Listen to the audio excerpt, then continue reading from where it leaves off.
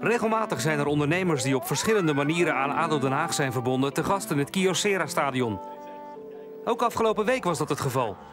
Het waren zelfs 100 ondernemers die op een heel vroeg tijdstip zich melden in het stadion.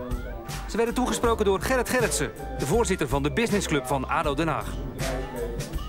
100 Haagse ondernemers op een uh, behoorlijk vroeg tijdstip bij elkaar in het Kyocera stadion. Wat is daar het nut van?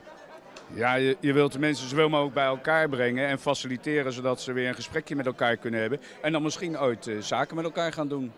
En is dat nog van deze tijd op deze manier met alle online uh, mogelijkheden om elkaar uh, in contact en in de gaten te houden?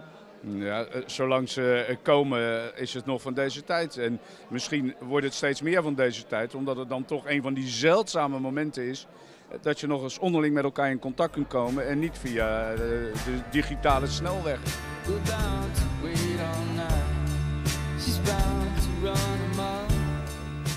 Ook Karsten Klein, de Haagse wethouder van Jeugdwelzijn en Sport, was aanwezig. Hij sprak de ondernemers toe over maatschappelijk verantwoord ondernemen in de wijk en hoe je als ondernemer in je eigen buurt en bij je eigen club een rol van betekenis kunt spelen.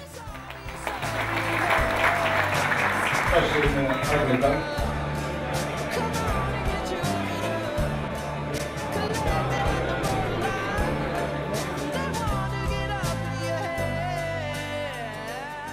Ja, we zien dat ondernemers in de wijk echt wel wat uh, willen doen. In Laak bijvoorbeeld zie je dat al dat uh, een notaris op een uh, voetbalvereniging een spreekuur houdt. Om zo zeg maar, met de wijk in contact te komen en te zorgen dat ze nou ja, van die mensen die op zo'n voetbalvereniging komen, dat ze daar ook toegang toe, tot krijgen zeg maar, als, als bedrijf.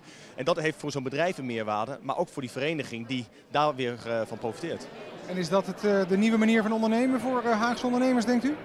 Nou, ik merk dat ondernemers heel graag inderdaad ook maatschappelijk iets willen doen. En geworteld zijn in de wijk. En dat is niet alleen maar filantropie of uh, liefdadigheid. Daarmee komen ze ook in contact zeg maar, met, ja, met, met nieuwe klanten, met nieuwe doelgroepen. Uh, en, dat, en dat vind ik wel een nieuwe manier van ondernemen. En met name ook in deze tijd. Dat het echt belangrijk is om je te onderscheiden. Om te laten zien dat je echt bent. Dat je niet alleen maar leuke plaatjes en leuke reclames hebt. Maar dat je ook echt zeg maar, voor, voor mensen wat wil betekenen. Ja, is deze vorm van ondernemen geloof ik heel erg in. En uh, we hebben ook gezien in een rapport van McKinsey dat bedrijven die dat op die manier doen, die echt zeg maar, op die manier uh, willen ondernemen, dat daar ook gewoon de omzet van groeit. En dat is natuurlijk voor ondernemers uh, in die end is dat ook gewoon een heel belangrijk gegeven. En dus was de vroege ontbijtsessie in het Kyocera stadion een nuttige start voor de 100 aanwezige ondernemers.